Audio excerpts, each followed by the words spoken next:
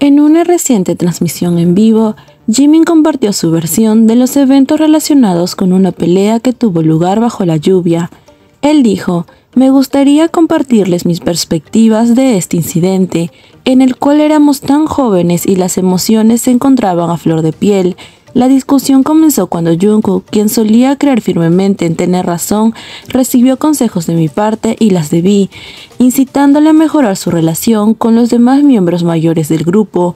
En mi frustración le expresé palabras duras y decidí alejarme.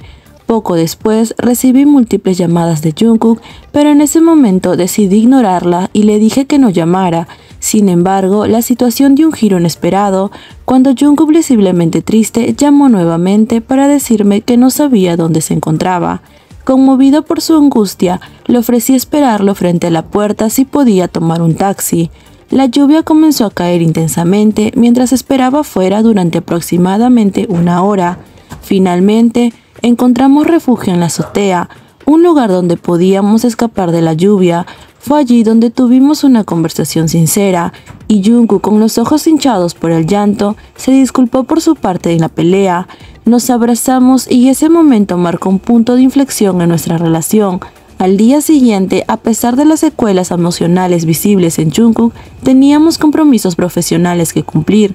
Los ojos hinchados reflejan claramente la tristeza que ambos habíamos experimentado.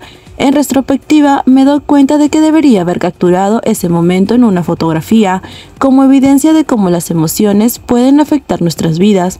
Esta pelea, aunque dolorosa en su momento, nos acercó como compañeros de grupo. Gracias a este incidente pudimos perdonarnos mutuamente y alcanzar una mayor comprensión entre nosotros. Sirvió como una lección valiosa de cómo las dificultades pueden conducir a un crecimiento personal y a las relaciones más sólidas.